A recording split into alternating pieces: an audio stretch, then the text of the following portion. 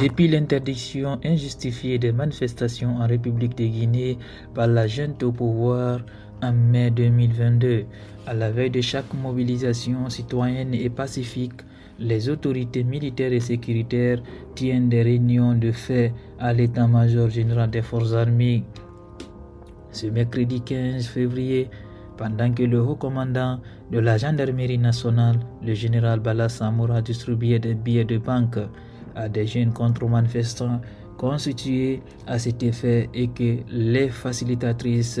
rôdaient sur le long de l'axe d'autorité Le Prince pour mettre en pratique les consignes de l'air deal avec le CNRD. Les membres du CNRD et du gouvernement ont passé le plus clair de leur temps dans les réunions. Ces différentes rencontres se sont soldées par la décision de déployer l'armée sur les différents axes routiers de Conakry, d'Ibreka et Koya, des Venter pour empêcher tout regroupement et de réprimer dans le sang des citoyens non armés et qui manifestent pacifiquement pour exiger l'ouverture d'un cadre de dialogue fécond, la libération des détenus politiques incarcérés pour certains depuis plusieurs mois à la maison centrale de Conakry et le retour rapide à l'ordre constitutionnel. Pour mettre en œuvre cette dynamique répressive, un message radio intercepté par nos cellules techniques a d'ailleurs été passé par le CNRD aux autorités administratives ainsi qu'aux forces de défense et de sécurité. Le ministre de l'administration du territoire et de la décentralisation a, dans un document intitulé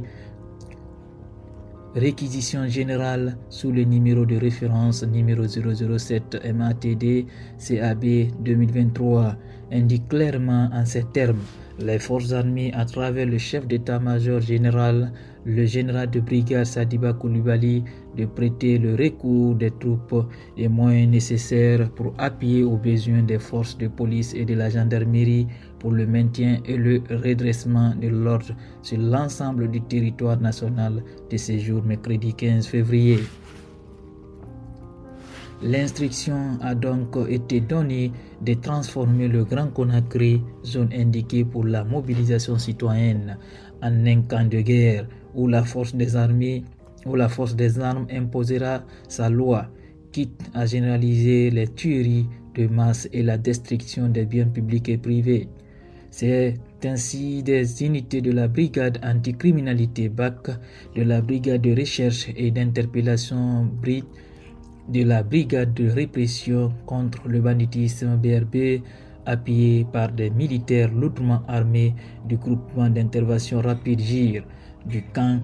Kwame Kruma et le bataillon autonome des troupes aéroportées Bata du camp Alpha Yaya Diallo ont pris d'assaut la route Le Prince et l'autoroute accompagnés de personnes habillées en tenue civile. Toute la nuit du mercredi à ce jeudi matin, les témoignages, images et vidéos ont fait état d'un déploiement sans précédent assimilable à une situation d'état de siège marquée par des tirs nourris de balles réelles dans la haute banlieue de Conakry. Le bilan provisoire de cette opération de ces éléments de l'armée à la solde du CNRD fait état de six blessés par balles, dont un cas critique. Des expéditions et arrestations nocturnes occasionnant des émeutes dans certains quartiers du Grand Conakry, des tirs nourris d'armes létales par les forces de défense et de sécurité. À 3h30 minutes du matin de ce jeudi, jour de la marche pacifique et citoyenne du FNDC, les unités de police, CMIS et commissariats centraux et gendarmerie escadron mobile et gendarmerie départementale ont été déployés avec des personnes civiles en appui tout au long de l'itinéraire de la marche sur l'autoroute Fidel Castro, sur la route Le Prince et la corniche de Taouya Symphonia pour empêcher les citoyens de rejoindre le point de regroupement de la marche pacifique et citoyenne qui a pour point de départ le rond-point de la tannerie à 9h. Aux alentours de 6 h les citoyens pro-démocratie ont constaté la rentrée sur Conakry d'un équipage de renforts venus de l'intérieur du pays sur la route nationale numéro 1 et la nationale 2.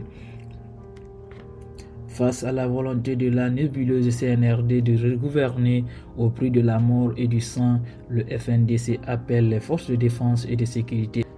à se désolidariser des plans répressifs du colonel Mamadi Doumbouya et de son gouvernement. Le FNDC invite l'armée, la police et la gendarmerie à assumer leurs devoirs républicains et s'abstenir de reprendre, de répondre et ou de s'associer à des ordres manifestement,